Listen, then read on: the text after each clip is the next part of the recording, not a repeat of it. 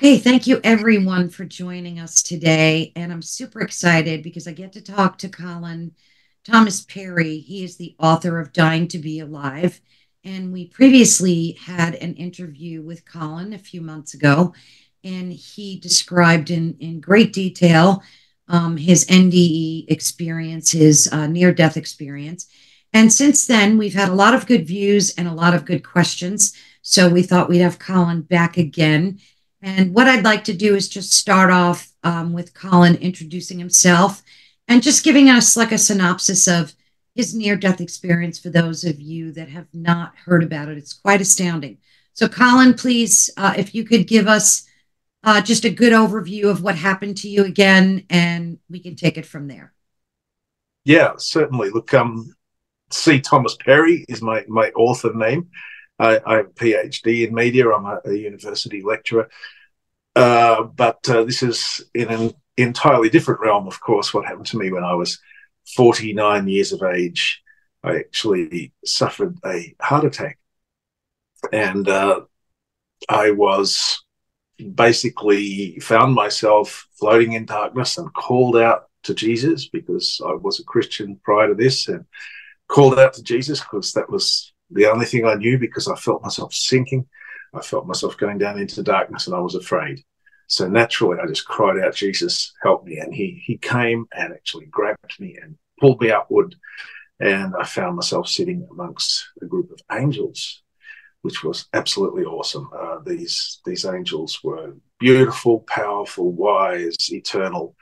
Uh, I've never felt so small in my life as being with these angels. Uh, I felt like like an infant next to them. They were just so wise.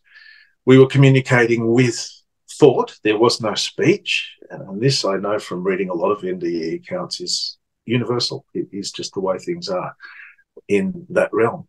There is not speech. It is just communication directly, mind to mind, soul to soul. So you can feel entirely what it is that these angels were, thinking. and uh, it was quite an incredible experience to, to undergo that. Uh, well, uh, I asked who this person was who came to save me, and yes, sure, sure enough, he said, "I'm the one you call Lord." So I knew I was actually seated in the presence of Jesus, and he he did some healing on me, and I actually joined with him very, very closely just for this few few minutes, and felt the power of who he is and what his wisdom and understanding and, and presence and knowledge of the universe is all about. And that was an experience I will never forget. That's changed me for life coming to know just how universal and powerful Jesus truly is. Uh, he, he then gave me the choice to come back into my life. And I had, at the time, I had a, a daughter in a wheelchair and, and, young children. And I really felt I needed to come back and be their father. So he did agree to send me back. He showed me things to come in my life. He just showed me things to come in general. Um, and then he just sent me back into my body, which was a very rude shock because being with him and being with those angels was such a beautiful environment. It was filled with love. It was absolute overflowing love and the most beautiful experience I've ever had. And the decision to come back was a very, very hard one. I really had to wrestle with myself not to just stay there because I wanted so much to stay there. It was such a beautiful place to be. Uh, but I came back and, and a lot of realizations on coming back as to just how oppressive and dark this world is in comparison, uh, and how limited our human existence is uh, after experiencing that spiritual existence for a short period of time. One, one interesting factor of it was that I felt like I'd been there for about half an hour with the Lord and with angels. And when I came back and was was revived in the ambulance, they uh, they told me I'd only been gone for one minute, which was just incredible. I, I realised there's two entirely different time frames at work here. The, the time we experience here is not the same as the time in heaven. It's a very different different uh, dimension, I, I, guess you would have to say. That's a very brief summary. Uh, it's gone on in my life. I've experienced dreams and visions and, and all sorts of things since then that have uh, kept on with this sort of he- heavenly connection, I guess you would call it, uh, which still goes on to this day. And uh, I'm very, very grateful to God for that. Yeah. Thank you, Colin. Um, what what have you had recently? Have you experienced anything recently in terms of that connection to heaven and to God? Anything you could share with us that was profound, or you knew that it was the Lord speaking to you through some type of message? Look, it, it, there's a lot of dreams. I, I tend to have a lot of dreams, and these dreams tend to be hooked into reality and, and things that are happening and things that will come to pass. And um, I, I, remember having multiple dreams, repeating dreams about huge tidal waves coming in towards me, and uh, these tidal waves would break, and then they would be nothing but but froth at my feet, you know. And uh, I, I just talked to God and said, God, please show me what this means. And he started telling me that there are waves that are coming. There's waves of the Holy Spirit coming across the world. He said, and this is before all the wars that have broken out. This was before Ukraine and before the Middle East. And he said, there's waves. There's going to be war. First, there's going to be war. He said, and, and then there's going to be uh, natural disasters, the like of which we've never seen on the earth. Um, that's the sort of thing he, he was showing me. That's probably the most notable and memorable one that I have had. Uh, so the things he has said so far have, have been um, have been coming true. And in the longer term, I, I, I hope I hope it's not too severe. But he says there will be very severe natural disasters that will hit the earth. Was this a recent revelation or two years? I guess two years ago. Yeah.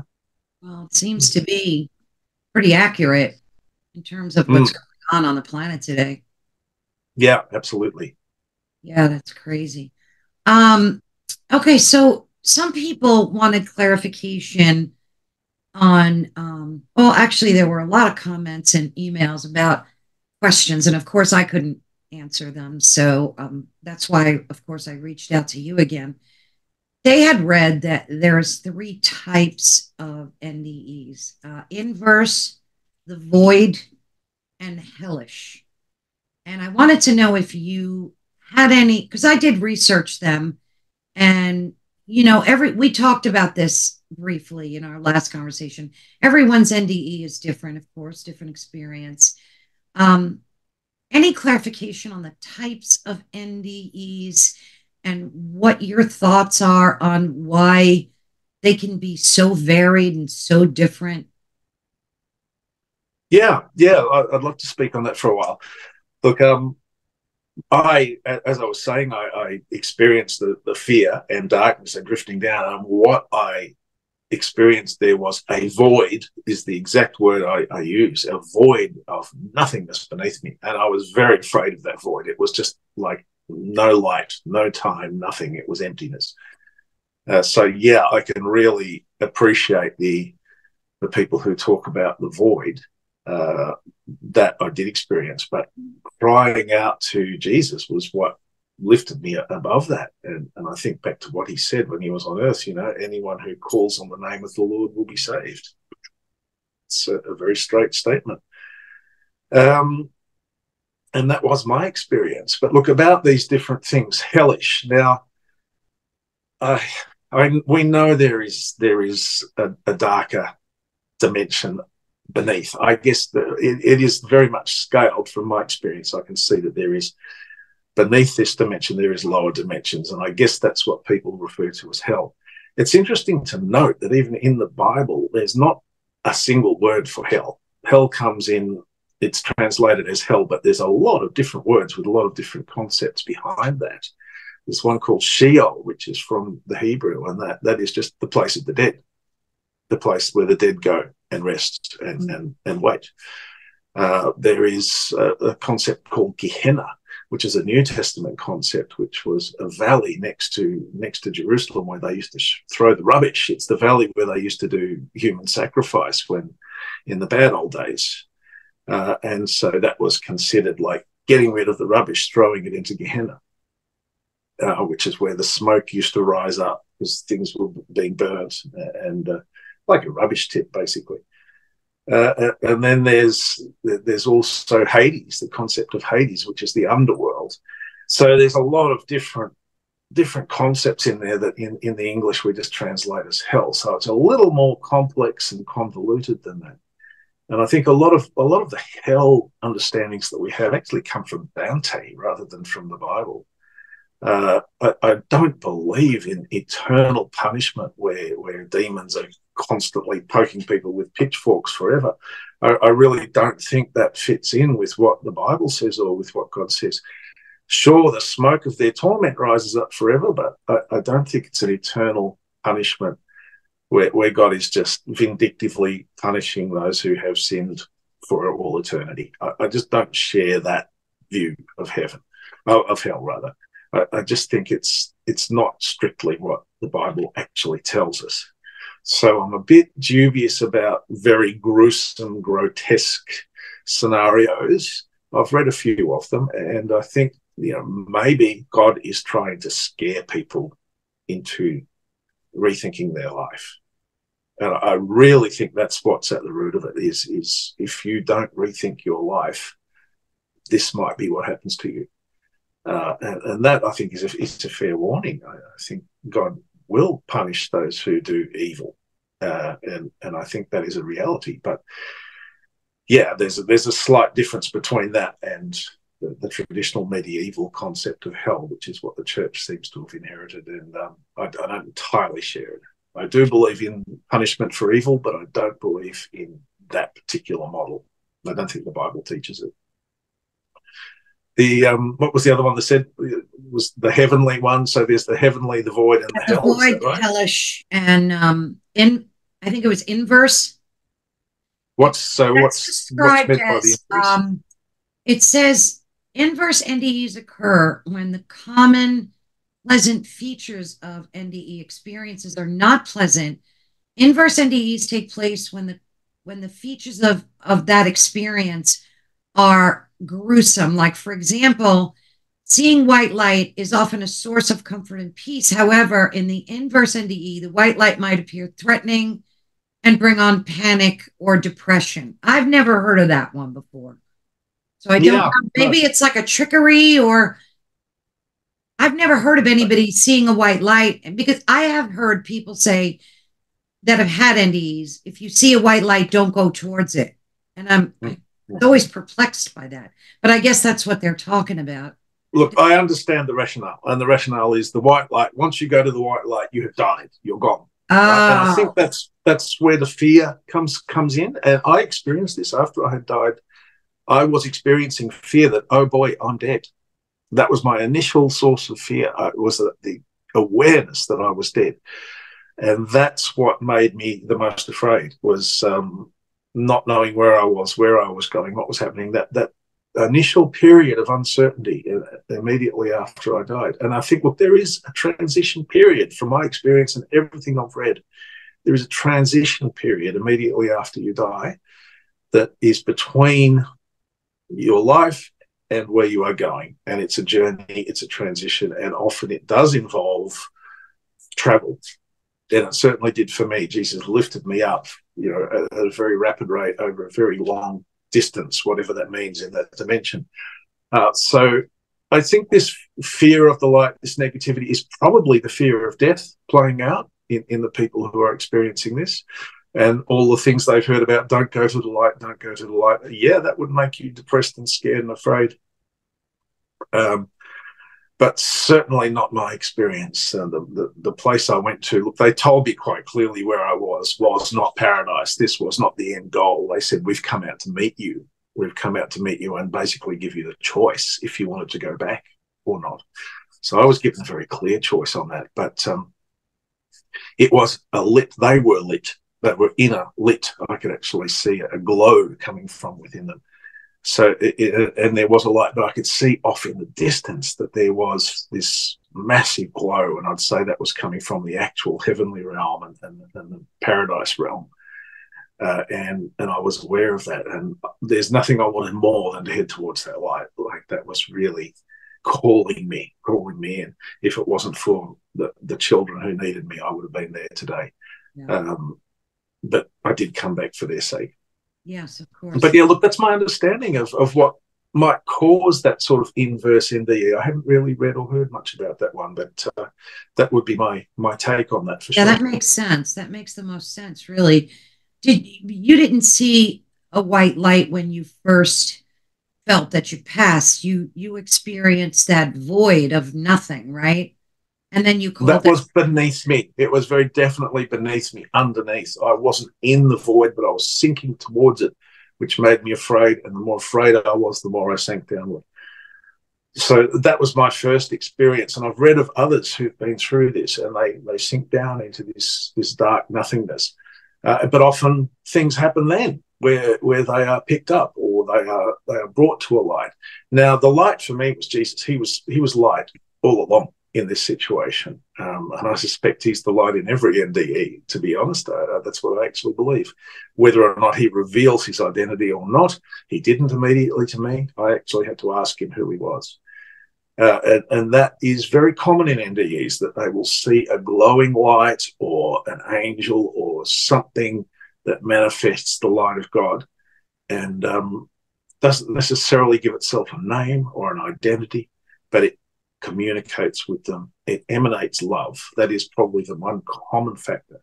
Mm-hmm. Is that it always emanates love. It emanates goodness uh, and wants to help people. It's a very positive force that wants to help people um, onward to heaven or back to their life. And usually, very much that initial experience in an NDE is where are you going? Are you heading back to your life? What are you going to go on? Obviously, all the NDEs we hear about are those who've come back. Right, obviously, yeah. Um, yeah. Folks also asked about what what they can do to help doctors understand and and kind of like be more accepting of NDEs. Like what what can be done to open up, you know, this to like the medical community because I think a lot of people have had them. I mean, there were a lot of comments of people that have had them, but they were afraid to tell their doctor, afraid to tell their family. So, do you think there's anything that can be done to educate like the medical community? And do you think that they're starting to open up about that? There are plenty of doctors who are coming around, often through personal experience or the personal experience of friends. Some are actually starting research projects to look into this more deeply. Uh, I've done a bit of reading on this. There's the um, Near Death Experience Research Foundation uh, is worth looking into. Now, um, they wrote a book a while back. I remember one of the authors was called Perry, the other one I think was called Long, and um, it was analyzing a lot about two and a half thousand different near death experiences and talking about the common factors and how they all aligned and using it as as uh, data for running sort of trials on how reliable this evidence was. And it came up pretty well above you know st- statistically significant that there had to be some substance to this because there was so much in common um, there was certain factors that just happened across all of the NDEs. And although we say there's a lot of different ones, I, I think, you know, the universe is a massive, big place, far bigger than we're aware of. Mm-hmm. Uh, that's just the physical universe, let alone when we're entering into heavenly dimensions or hellish dimensions. Uh, it's a it's a really gigantic list of possibilities out there. And I don't think because people have died, I don't think everything needs to align perfectly and be the same for every person. It's certainly not for us in our life on earth. And I don't see any reason why it would be there. Um, so, really, there's this huge variety of, of possibilities that can happen. And yet, certain things are really common and, and happen to almost everybody. One of them is that that love that comes to them this love, loving God. And most of them have the courage to say, yes, well, this was God. There's no question that this was God. Some people, probably because of their earthly way of thinking, won't admit that it's a God, but it was a light and it was loving and it was talking to me. So, I mean, that's uh, pretty obvious to me where that's coming from. Yeah. Uh, so, yeah, it, it's really a complex situation to try and convince, I guess, the medical profession of the reality of this because it's so out there in comparison to what we understand. Uh, as far as the medical profession is concerned, all thought is just the result of chemicals within the brain and neurons firing, etc., etc. Well, this is the point at which the evidence for NDEs is very strong because so much of what people experience happens when there is zero brain activity. It's not showing up. There is no brain activity. They're often wired up with ECGs and there's a flat line. There's nothing there. So how can this be brain activity that they're experiencing? It can't. It just can't be brain activity. Uh, and I think that's a very powerful argument against the medical profession. The other one is the the things that people are coming back with uh, in terms of um, what they've experienced and, and, been aware of, like as they are floating around the roof or down the corridor or whatever. And there's a lot of a lot of experiences where people are able to for example, one I've heard of where where this person drifted down to a room down the corridor, four or five rooms away, and heard a conversation there, and then came back, and when they were revived, they were able to tell the doctor, "This is what I heard." Four or five rooms down the corridor, and the doctor confirmed that's exactly what happened. Other other times when they've just been in the room and, and zero brain activity, and they've said, um, to the doctor, uh, the doctor said, oh, I've lost my keys. And they've said, Oh, you put them in the drawer. You put them in the third drawer down or whatever. And the doctor goes, And yes, the keys are in there. And they've actually seen what's been going on while there's been zero brain activity. Uh, so that is a very strong argument against the medical profession that says there is only thought and chemicals within the brain that drive us like some machine certainly, certainly not what I experienced. Uh, in fact, I was really delighted to have my brain quiet for a challenge when I when I'd actually died. I actually felt this very very beautiful clarity of just being I me. None of the second thinking, calculating, what if, maybe, doubts, fears, all that stuff just just sort of gradually drifted away, and, and I found myself more and more just becoming that part of me that I call I was, was very pure and very clean. And I realized, well, so much of what we go through in terms of doubts and fears and anxieties is just just the brain cycling stuff. It's just like a machine just ticking over. And um, it's quite a liberating experience to be set free from that for a little while and to understand that's exactly what it is. Yeah, I could imagine. Uh, what about the folks that have had um, hellish NDEs. Do you think that that was like the Lord's way of scaring them? Because most of them that I've seen have repented after, and it, they dramatically changed their lives. So, what's just your take on? Because some of them are really hellish, like they're scary. I, I know, I'm aware. I've read a few, yeah. and, and they are really hellish. Yeah, and, and I understand that. Look, I'm not saying there is no dimension of what we understand to be hell. I, I actually believe something like that does exist. Uh, it, it's difficult to understand. I think we're living in a, a, a universal layer cake, uh, effectively. Uh, and we're somewhere around the middle and above us. I mean, it's interesting in the Bible, the Apostle Paul talks about a man who went to the third heaven and heard things that could not be repeated in words. So the third heaven indicates immediately there's there's levels of heaven yeah. going on. And there's obviously also levels beneath. So uh, it's a multi layered, I won't even call it a universe, it's a multiverse. I, I believe there's all sorts of different dimensions that, that exist. Science is just barely beginning to discover dark matter and things like that that, that indicate there are other other dimensions out there whether what they're discovering, I don't know. I just hope they're not uncovering hell, you know, quite frankly. But um, this this hellish thing, I, I, believe what you just said is is the answer. This is my sense that God is allowing them to see this so that they will change their life, so that they will head towards the kingdom of heaven, not towards the kingdom of hell that is something in our lives. Look, in this dimension, we measure things by finances, physical health, right. power.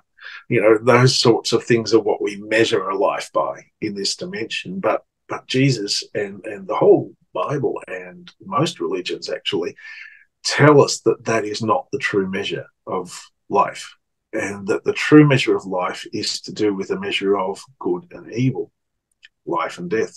They're the things that really matter. So we need to be heading towards obviously the good side of that scale. And the most powerful force, by all measures, by NDEs, by, by religious teachings, is love. The, the most powerful force in the universe is love, which means the opposite of that is hate. So um, I, I believe God is scaring people away from living in hate or unforgiveness or resentment or whatever and drawing them towards forgiveness, love, peace, joy, all the things that go with that heavenly realm. Uh, and to show them a little bit of this, I think, is a very powerful and effective tool. I know my my partner um, actually nearly died many years ago, and um, she went and came back, but didn't see anything. And she's just prayed to God and said, "Why? Why didn't I see anything?" And she was not in a good state then. This was due to uh, drug addiction at the time, many years ago. And um, God just sort of said to her, you know, in, in his little way, just said, "You would not have been able to cope with what you would have seen if you had died at that at that point." Uh, and I think there is a definite link between the state your life is in and where you go when you pass over. A very definite link. And I mean, let, let's face it, the whole New Testament's telling us that from start to finish. You, you need to you need to repent, and repent is a word that actually means transform your way of thinking. Mm. Uh, you need to change your life towards love, is the basic message, really, when you peel it down uh, to believe in Jesus, to believe in love, to believe in God, and to love people. That is that is the core of what um, Christianity teaches. I'm glad you touched on that because people were also, I guess, frustrated at the thought that um, heaven was only for like a chosen group of people, and that even if you believed in Jesus, that depending on how you live your life would determine your entrance into heaven. And I know you kind of touched on that when we spoke because you mentioned that just believing in Jesus was what Jesus wanted, right? Like that would bring give us salvation. I know we talked about that a little bit. But because all we have are the 10 commandments really. We don't have a other than the Bible, which sadly many people don't read. We don't have like a, a manual on how to be a good person, how to, you know, and and it's it's sometimes difficult for us. So what I guess my question is, is believing in in Jesus enough, and and praying enough? Like, what does it take to gain entrance? Okay. Yeah. Yeah. It's it's a great question. It's a big, big, big question. Yeah, it is. Uh, I'm gonna I'm gonna talk for a little while on this because yes, I've, right I've thought deeply. I have thought very deeply about this. Awesome. Even in the Bible, it does not say that anyone who's a Christian is going to be saved. I'm sorry for all those people who deeply believe that. But if you read, there's one particular story Jesus tells where he's on the judgment seat and people are being brought to him and saying, didn't I cast out demons in your name? Didn't I heal the sick in your name? Didn't I do this in your name? And he says to them, Go away, I never knew you. Right? So, sorry, they were Christians. Okay, they were Christians. Obviously, if they're coming to him and saying that, that's Christian people being rejected. So we really can't argue that automatically, bang, the moment you're a Christian, you're you're saved and in heaven. Jesus does not say that. He does not say that. Uh, but I think there is a, a concept. He said, "Believe in me and be baptized and obey my commandments." That's what he said. What were his commandments? To love God, to love people. That they're the two main commandments that he left us. I think that's what you're looking for. It's so simple, people overlook it. That is the rule, that is the law by which people are gaining entrance into heaven in the long run, is how they love and, and whether they love or whether they hate. And um, there is this thing called the life review. Uh, I, I, felt it. I didn't experience it quite so literally as some other people, but when people die, they they go through their life. Mm-hmm. They, they see the things that perhaps they are ashamed of. They understand this this thing the Bible calls sin is actually things to do with hate. It's things to do with greed. It's things to do with hurting people. Uh, they're the sort of things that that come back on you when, when you pass over. And I, I felt filthy dirty just being in their presence, just being human. I felt filthy dirty. And this is something that's interesting in, in all of the prophetic visions. A lot of the prophetic visions where prophets were taken into heaven in the Bible, they, they all said the same thing. I'm a man of unclean lips. I, I've, I, am not worthy. And that's the that's the feeling you get when you're in their presence. It, it's like we really are tainted, stained uh, in, in our lives.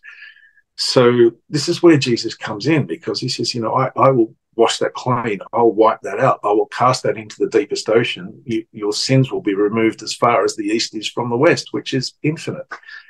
Uh, that is what Jesus came to do, was to say, it's not a fair deal. I'm now bringing you the fair deal, which is forgiveness. Like all men were condemned under the first Adam, all men are forgiven under Jesus if they just choose to love and to believe in him. That's the message he came to say. Does this mean the chosen few in the church self proclaimed um, saints? Mm, not necessarily. I don't think that's what Jesus is saying. He's not uh, upholding institutions like that. He's not upholding humans as the judge. No, this he came. He says, "I didn't come to judge the world. I came to save the world." And and people who want to take advantage of that opportunity to be saved, I think it is effectively a guarantee. If you live your life by love and if you believe in Him, I do believe it is a guarantee. Does that mean everyone else is excluded? No, not even the Bible says that. Uh, it's Romans chapter 2. I can actually go right to the chapter where, where Paul says, even those who do not know the law will be judged according to the words of their mouth and their thoughts. They will be judged according to how they have lived. Their so thoughts. it's actually that, written in there. Mm. That part scares me a little bit. Could we clarify if you don't mind? Because I always believed that it's a person's actions that matter and not so much the thoughts because we can have thoughts that we don't necessarily mean. Like you can be angry and have a nasty thought about someone, but would you ever hurt them? Of course not. How hmm. so how does the Bible put thoughts in there? Are thoughts evil in and of themselves, Colin? I absolutely believe they are. Um, Jesus said that himself. he, he's well, I'm just trying to think of the exact words that he used, which was um, to to even look on a woman with lust is to commit adultery right? So, so it's the intention that we are judged by, right? So, um, it is in fact our thoughts that matter. When we when I was over there, it, it, the thoughts were everything. It's how we think, how our heart and our soul. They're the things that we're judged on. Uh, so it's what we intend. Now, sure, look, we have our failings. We get angry. We we go off the edge sometimes. That that does happen, and it happens to everybody without exception. And that is why Jesus came to bring the better deal because he knew all humans are subject to this. He understood. He was God brought into a human body. He understood what we were going through and how unjust it was. So he he has actually come to bring a new form of justice, which is forgiveness and love. Uh, the the intentions of the heart. It's a very interesting thing to study um, in in scriptures because that's what God looks on. It says he looks on the intentions of the heart. So, what do we mean to do? If we want to help someone and we're trying to help them and something goes wrong and it screws up and messes up and, and things go awry, that's not the intention of our heart. And we won't necessarily be judged on that. We'll be judged on what we are trying to do, on what we are seeking to bring into the world, not necessarily on the actual physicality of, of what happens. I, I think, you know, that's what really is at the core of it. So Jesus knows our intention, but oftentimes intention doesn't line up with our thoughts.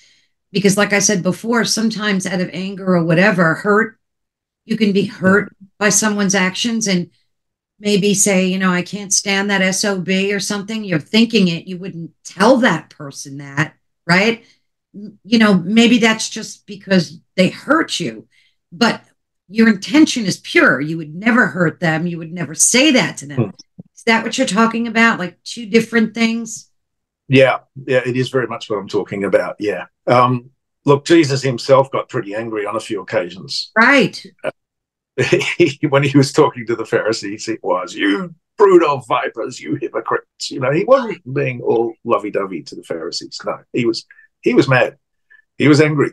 It's what what you call, you know, divine righteous anger. anger. anger. Yeah. Yeah, righteous anger.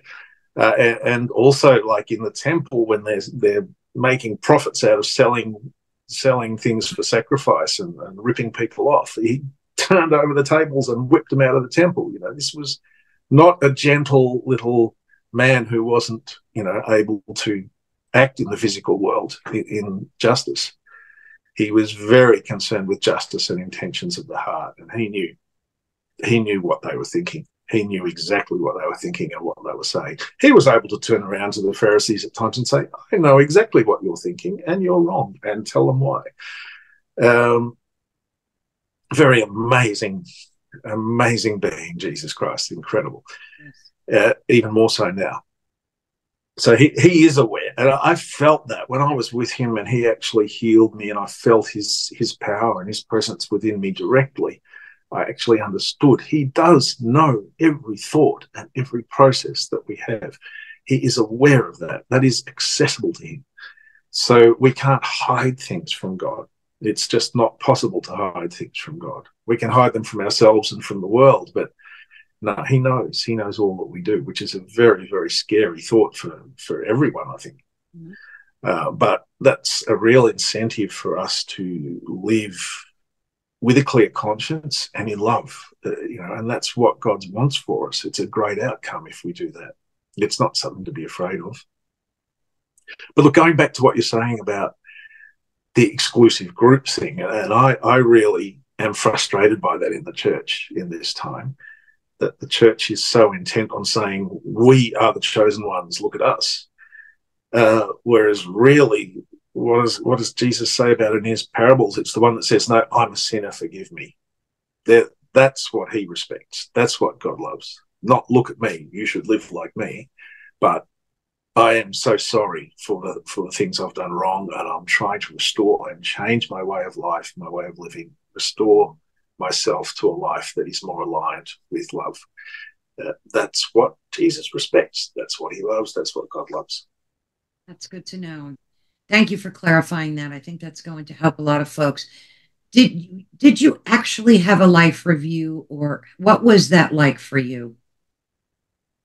It, it was. Look, there wasn't I didn't have the traditional sort of movie running before my eyes, but it was a sense I had when I was in the presence, just just in the presence of the angels. I, I mean, I'm no angel myself, that's for sure. I've done a lot of things very wrong, and they, I felt them as if I was stained. As I said before, I felt filthy, dirty. I, I felt, oh, oh, that stuff hasn't gone away necessarily it's it sticks. It, it, sticks to your soul. It, it's like um, yeah, clothing that's got stains on it is the best way of putting it. And uh, that's when I actually said, I actually well said or thought or communicated. I said, I, I believe in the blood of Jesus. I believe in the forgiveness of of the covenant of Jesus and communion and, and all those things that come along with Christianity. And I, I said, I believe. And at this point, Jesus was sort of on side with me and I could feel all of that guilt dissipate. And it was like, yes, you are a part of that covenant. You are a part of forgiveness. That does not follow you. You know, you are. Uh, he says, you know, when when you come into heaven, you're given white robes. You're given new clothing. You're given a new a new existence. That's the powerful thing. You, you, if you have that opportunity of knowing Jesus and knowing what He is and who He is, and how he can cleanse you of guilt. That is the powerful, powerful thing that once you get through and you're beyond this life. That's what really matters. Um, unforgiveness, I think, is one of the greatest problems and difficulties that people have got to get out of their lives. In in Australia, we had uh, it was it was an amazing thing. Really, we had a um, a priest of the Assyrian Church in Sydney was was actually stabbed by a young oh, radicalized, yeah, Muslim boy, and um, he, he survived he was okay, and the boy was arrested and dragged away. There was all sorts of riots outside the church. They were absolutely oh, Unbelievable. Yeah, and um, that that beautiful priest, he just said, "I forgive that boy. You know, I forgive that boy. I understand he's been, you know, brainwashed, radicalized, whatever, but I forgive him, and I love him. You know, and that to me, that sort of sums up." The, the goal of what we've got to head towards is that there is no point in an eye for an eye, a tooth for a tooth. There is no point in vengeance. There is no point in that. Look where it leads. Where it leads to is Gaza. Lord. Yeah. yeah. I saw someone praying over him. They had him like pinned yeah. to the floor, and it was just so heart wrenching to watch mm. that. It was incredible experience. Yeah, it, it, it really was a beautiful beautiful moment when when the priest yeah. forgave him. I just thought, yes, that that's the victory that's the victory we need. Um, love your enemies. Love your enemies. That is so important. And that boy would the world be a different place if if that was put into practice. Oh, it sure would be.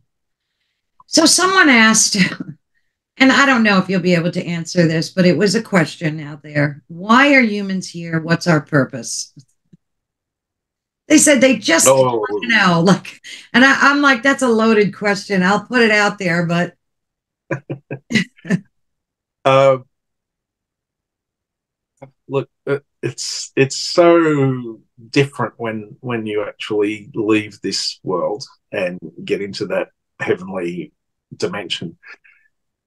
It's so different. God is so good. God is so loving and God is so powerful that I actually believe our existence is just to be worshiping Him, to be loving Him, to be joined with him. And, and I know it sounds like, eh, what, so what? But wow, when you experience it, it, it is the highest thing you can experience to know and feel God. It, he is so immense and universal and beautiful and powerful and loving. To be aligned and joined with Him, I can see no higher purpose. And, I don't think you really understand that when you're in this world. It, it's not until you get beyond it and you realize, whoa, this is something way above what I can comprehend or, or ever imagine or think of. And this is why, you know, we see in, in the book of Revelation and things like that, the angels, the elders just bowing down and saying, Holy, holy, holy is the Lord God Almighty. And they don't stop. They just keep going. They just keep singing it forever.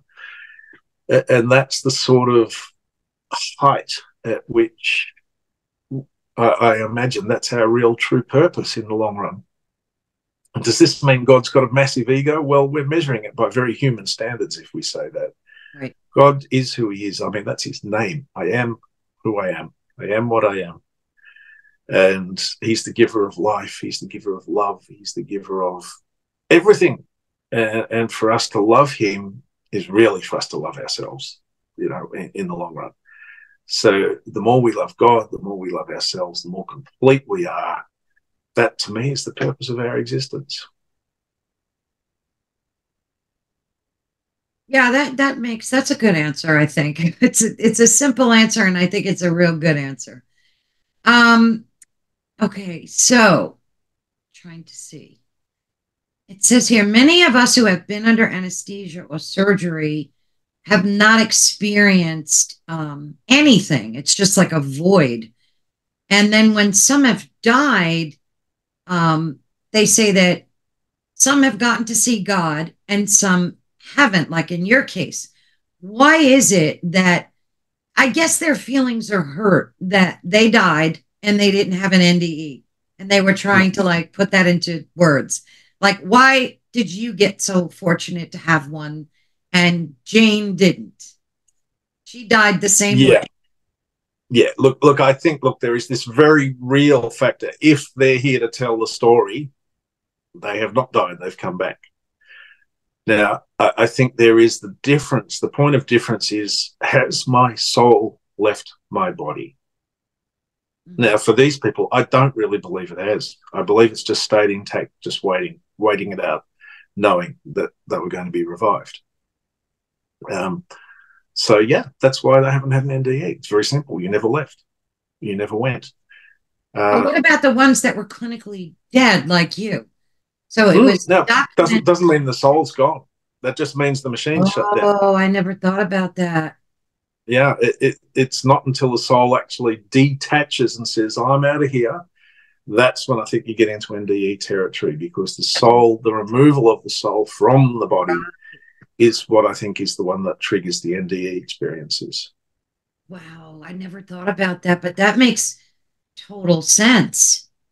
So your soul has to completely detach.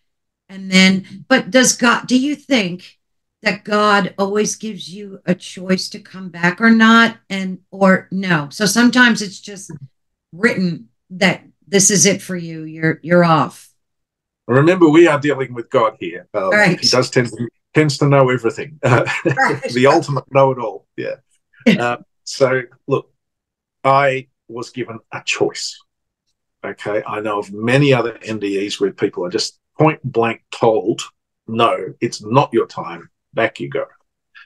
And obviously, for all the others, which is the vast majority, they are told, no, your time has come. And you end up passing through to where, where you pass through.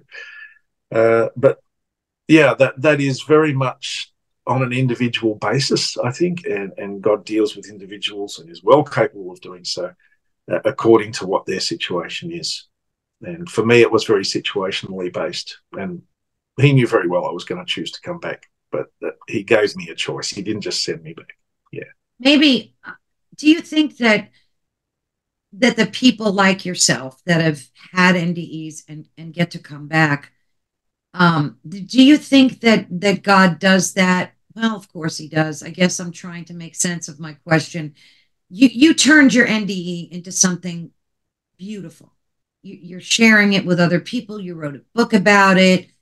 You're spreading the word of the you know the gospel and Jesus. And do, do you think that the folks that have had NDEs but do nothing about it, what's the point do you think the point is just to change their lives? Oh, it can be that simple, most definitely. Um, uh, God's not really vindictive, you know, and and um, he's he told me right from, if you remember, right from the very point at which I was having a heart attack, he said to me, "You're going to die, but I have things for you to do." Like I've been assigned a mission um, by him, and I'm very aware of that right from the start. That was the deal. You're going to die, but I have things for you to do. So it took me seven years to write a book. Uh, I sat on it for a long, long time and, and was a little bit afraid, a little bit cautious about the response because I had a big variety of responses. Some were extremely negative. Actually, some from Christians were extremely negative, which surprised me. But how so? Um, Could you give us an example? What would they say? Oh, uh, what were some of the really negative responses? They um, I won't mention any names, of course, but I had yeah. one person just just basically accused me of being a charlatan and of fabricating this and doing it to make money. Oh. And I was able to say back, well, I've actually lost money, not made money. but uh, uh, that sort of response. You expect me to believe this rubbish? You know, this is not how it all works. I know how it works. You're just making this up. Uh, that's the sort of response I got from a few Christians, very few, not not many. Um, then, of course, you get the response from the more analytical, scientific, which is straight away, oh no, no, no, that's just you're just hallucinating. Your brain's just shutting down. It's the chemicals in your mind, and you know, just don't don't bother us with this. We don't believe it. Um, is the more common response. But a lot of people, and I'm talking people who don't even believe in God, I'm just talking general people, are intrigued by this. They want to know. Mm-hmm. They really want to know what's going to happen to them and their loved ones when they die. And that's just natural and normal. And, um, you know, re- really, I believe I've got some very good news for you, you know, and there, there are things you can do now to actually prepare for that so that when the time comes, you know you're all good with God. You you're in with him. You know, you you understand. He understands you. You understand him. You have a clear conscience before him. That's a great way to pass over if you can if you can go that way. And that's where Jesus is so helpful because he says to you, you know, in advance, you're forgiven. You're forgiven. You're set free. It's just forgive other people and you're forgiven. It's that simple. Um, another question, a few of them were was about the prophecies part. Now I know you mentioned that a lot of that was personal and that you know you, you couldn't mm-hmm. really share it. They want to know like what prophecy you received during your NDE that you could talk about that was prophetic and really shook you to your core. Is there anything that you can talk about? Because we had a few questions on that. Wow. Look, look, there was something I won't use the word weird, but something unusual going on when I was shown the future. Some of it I've been allowed to remember. Some of it has just simply been erased from my memory. I, I just do not remember what I was shown. And that was something Jesus was talking with the angels about at the time. And he can see this. Don't let him see that. It, it was very selective about what they wanted me to be aware of the things, a couple of things I were was aware of was was personal things like a person I would meet right. and, and know for many years, um, things that might occur in my life.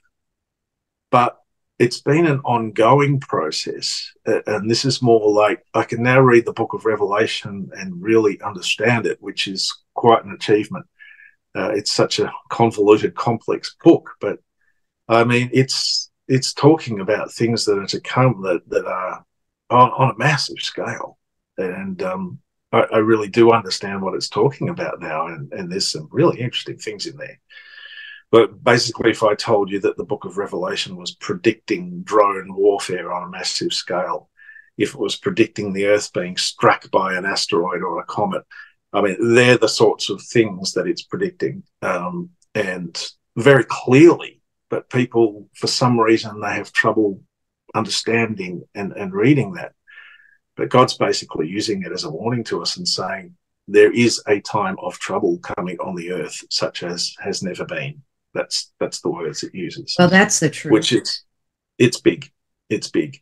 Um, and that is very clearly described in, in the prophecies of the Bible. You know, the, Isaiah chapter 24, amazing to read. Uh, the earth is dried up, the earth is shaking like a hut. The, the, there's other places where it talks about the stars being rolled up like a scroll. Now, that's the earth shifting on its axis. Yeah. We're talking something big because like if people just think of it as symbolic they don't really get what it's about. This, right, is, right. actually talking about the real thing. Um, something is at some point in history going to strike the earth. It's going to make the sun go dark. It's going to fill the air uh, the air with dust. Mm. and it's going to poison a lot of people. And it's going to be terrifying. And it says the people will run to the caves and, and you know hide under the earth and say save us. Save us from the wrath of god that's what it's predicting. And I mean, you know, we know they have bunkers. And if something like that happened, that is exactly where the, the powerful people of the earth would go. That is into those bunkers and say, save us. Oh, sure. Uh, and so much of what is written in these ancient prophecies, God's just opened my eyes to. And, and um, it talks about, you, you know, like the book of hmm? Revelation. Hmm? Do you ever read like the book of Revelations and then something like you'll get a flashback or, or remember something that was shown to you? Yeah, yeah, and it's more in the present tense, really, rather than a flashback to the NDE. It's more it, it, just opens my eyes to things like like I was just reading about in Revelation and in Joel and in a few books. It talks about this army of locusts coming over the land, and the, the noise of the locusts was deafening and they were shooting fire out of their tails. And before them the, the, the earth was like the garden of eden and behind them it was a wasteland. And uh, god just opened my eyes and i just saw drones thousands of drones coming over the land and just zapping and, and exploding things. And look at what just happened with iran and israel. I mean Exactly. It's it's very likely to take yes. place at some point, and um, that that's exactly what I believe the book is about.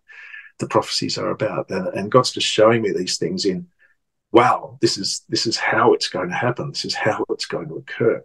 I mean, look, I may be wrong, but that's just what He's showing me, and um, I'm just quite happy to share that with people. Yeah, yeah, yeah. Um, I read something the other day in in in the Book of Revelations that confused me.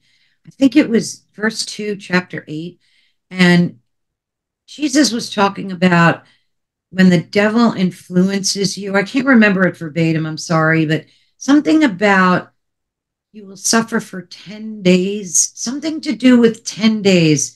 Do you remember reading that? Something about the devil influencing you and that you would have to suffer for 10 days. And it, the number of days just stood out to me. And I was talking about it with a friend of mine, and we couldn't figure out what this 10 day thing was often in Revelation, a day stands for a year.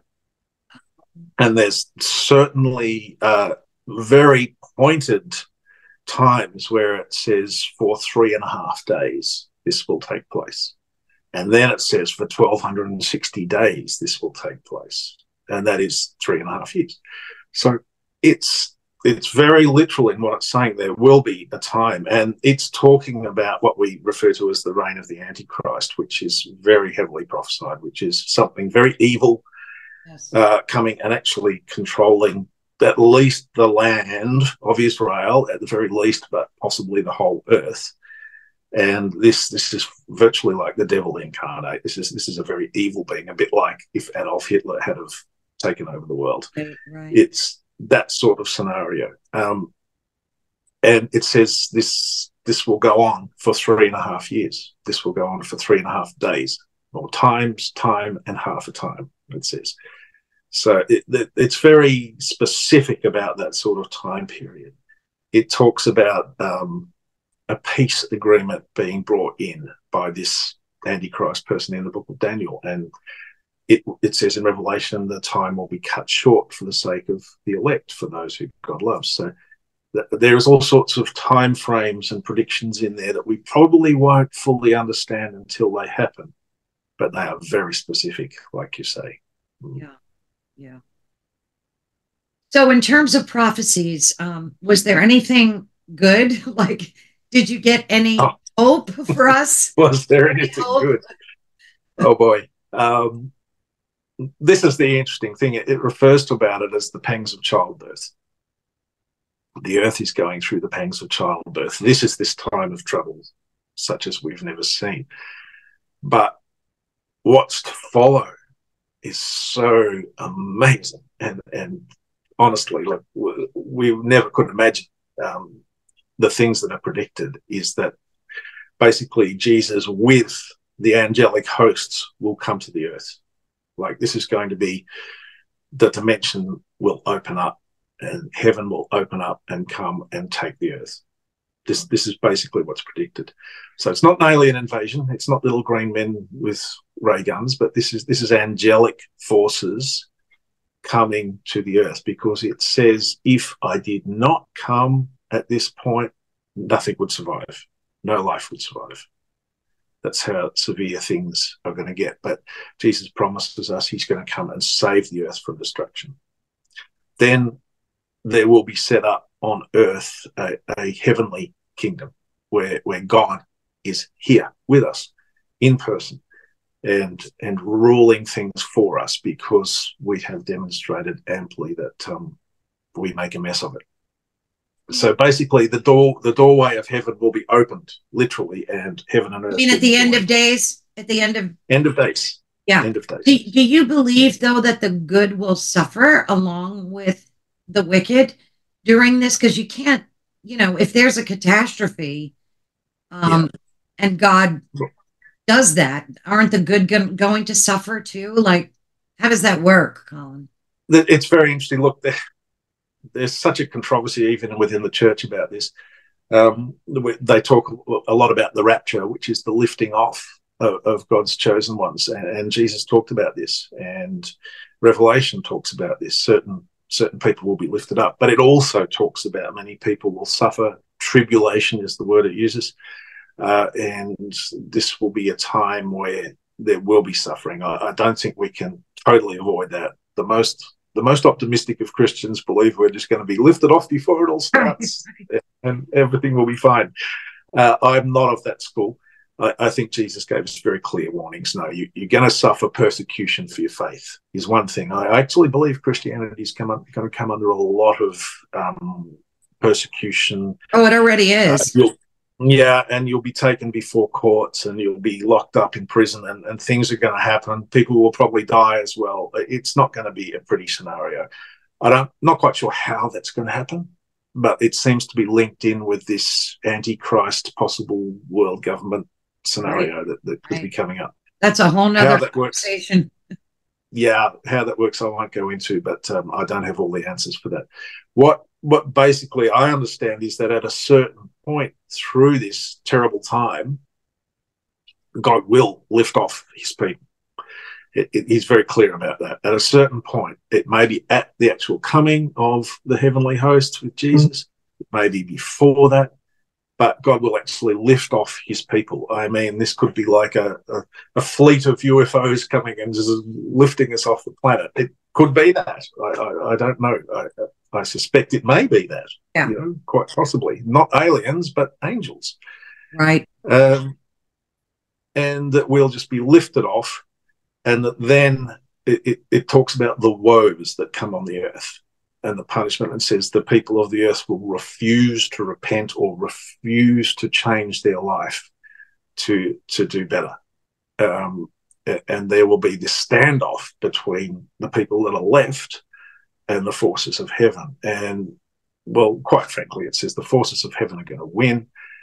The light of God will come onto the earth and things will be totally transformed for this planet. It talks about the deserts blooming.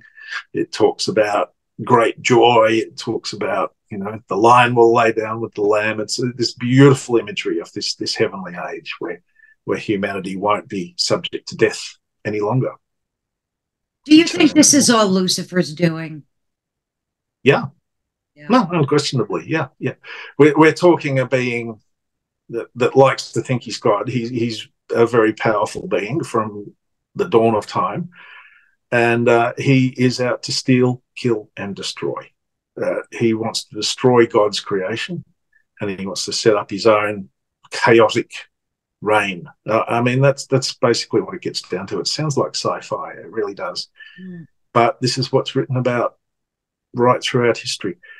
And um, there is very obvious evidence in the earth of a malicious, evil force that that tries to destroy. That that's just the way it is. Having been outside of this earth, I can really vouch for that. It's not there. When when you're there, there, is just not this deathly, evil, decaying atmosphere that that exists here in this in this realm.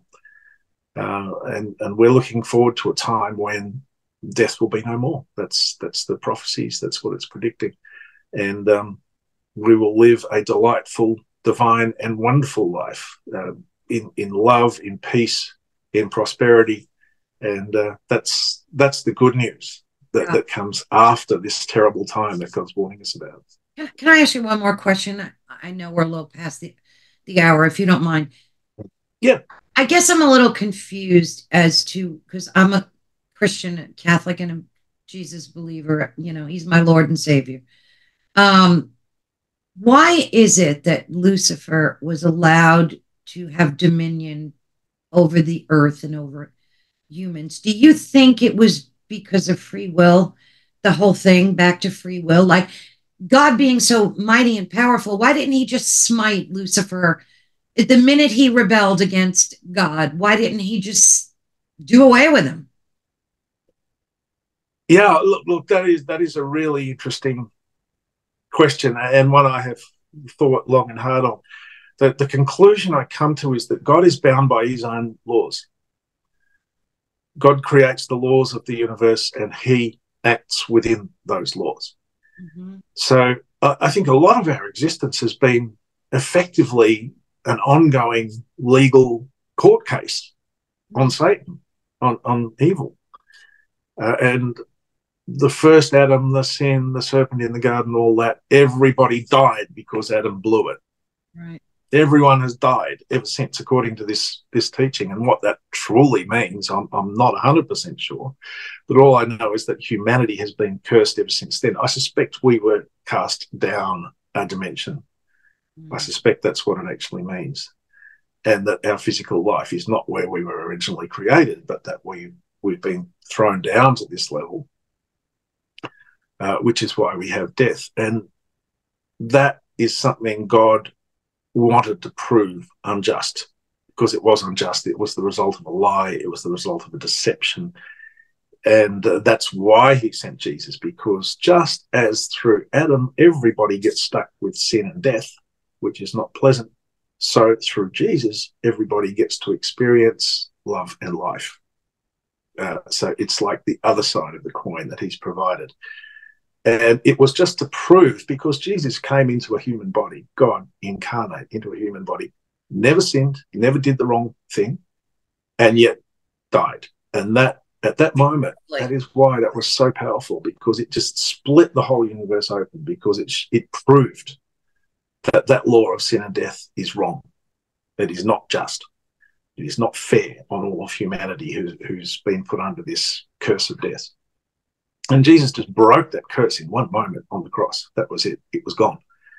And um, ever since then, it's been, well, the gradual expansion of the kingdom of God on earth. And that's just going to continue and continue until in these last times, he actually comes back and, and takes command of his kingdom once again. Uh, and, and, that's that's a time that's coming. I don't believe it's too far away. I'm not going to try and predict dates because there's not a good history for predicting dates. Right. But uh, that's absolutely what I believe. God has used Jesus, put himself into a human body to prove that Satan is wrong and to cast him down. That makes a lot of sense.